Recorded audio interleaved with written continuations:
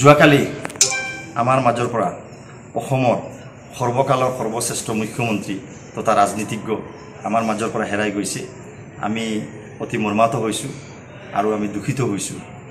কিন্তু পৰিতাপৰ বিষয় যোৱাকালিৰ পৰা আমি মিডিয়াত চাই দেখি আহিছোঁ আৰু বিভিন্ন চেনেলত দেখিছোঁ আমি যে আমাৰ কংগ্ৰেছ দলে আৰু আমাৰ মাননীয় মুখ্যমন্ত্ৰী প্ৰাক্তন মুখ্যমন্ত্ৰী তৰুণ গগৈ ডাঙৰীয়াৰ পৰিয়ালে অসম চৰকাৰৰ ওচৰত মাটিৰ কাৰণে তেওঁৰ সমাধিস্থল নিৰ্মাণ কৰিবৰ কাৰণে মাটিৰ কাৰণে আবেদন নিবেদন কৰি আছে।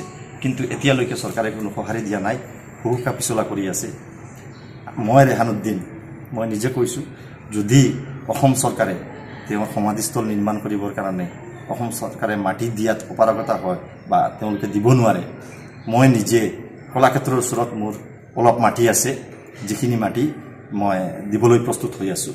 আৰু মই আজি গৌৰৱ অনুভৱ কৰিম যে তৰুণ গগৈৰ সমাধিস্থল নিৰ্মাণ কৰিবৰ কাৰণে মোৰ মাটিখিনি দিবলৈ মই সম্পূৰ্ণৰূপে প্ৰস্তুত আছোঁ।